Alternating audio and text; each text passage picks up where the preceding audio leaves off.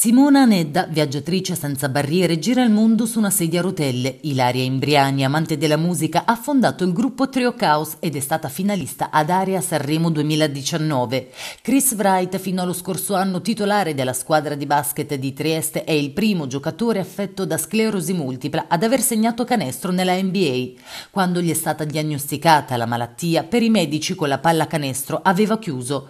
Lui invece non ci ha pensato neanche lontanamente di terminare la sua carriera e tra le tante difficoltà e successi ottenuti continua a giocare e a vincere. Poi c'è lei, Michela Pascucci, 41 anni di Fano, un'artista con la passione per la fotografia sin dall'adolescenza. Quando nel 2012 le è stata diagnosticata la sclerosi multipla, ha cominciato un viaggio alla ricerca dei perché. Da qui è nato il desiderio di documentare il suo nuovo modo di vedere la vita e quella delle persone che non si sono abbattute alla malattia. È così che ha deciso di seguire i suoi nuovi amici nei momenti di vita quotidiana e con loro ha scoperto che tutto è possibile, tutto può essere affrontato con coraggio e senza paura. La malattia eh, mi ha portato un'opportunità, cioè la capacità di vedere la vita in maniera diversa o comunque di affrontarla in maniera diversa, di, innanzitutto di, mi ha donato un profondo ascolto di me stessa, mie, dei miei desideri, di come volevo approcciare la vita. In questi giorni Michela ha esposto alla Rocca Malatestiana alcuni scatti che vedono protagoniste le persone che come lei hanno la sclerosi multipla. Sono appunto persone che come eh, vediamo dal titolo, hanno un'amica in comune, così l'ho voluta chiamare, ehm, per sottolineare come sì, ci lega la sclerosi multipla come malattia, eh, ci tengo a sottolineare, io eh, ho una forma molto leggera, ci sono anche persone che invece sono molto debilitate, che eh, hanno una malattia molto più forte e molto più debilitante appunto.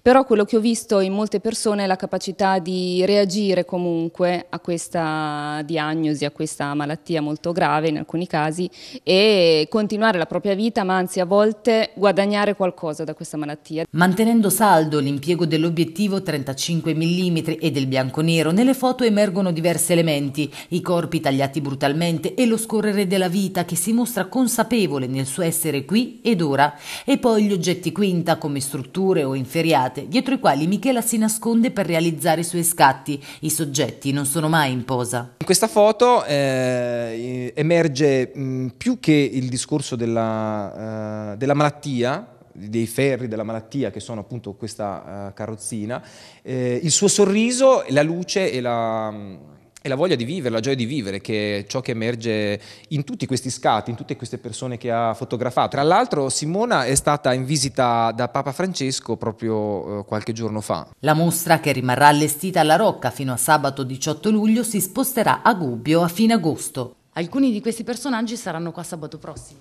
Sì, sabato prossimo ci sarà un incontro qui alla Rocca tenuto dalla dottoressa psicoterapeuta Alessandra Battistelli in cui si andrà proprio a parlare, ad approfondire il tema eh, della malattia come sfida con se stessi e come recupero della nostra innata resilienza, quindi la capacità di reagire a eh, stimoli in apparenza negativi, quindi è aperta a tutti perché è un argomento veramente vasto. Sarà arricchito dalla presenza appunto di alcune delle persone che ho fotografato che quindi lasceranno la propria testimonianza diretta. Nonostante le difficoltà comunque possiamo trovare qualcosa di positivo, questo per qualsiasi cosa ci possa capitare. Ecco.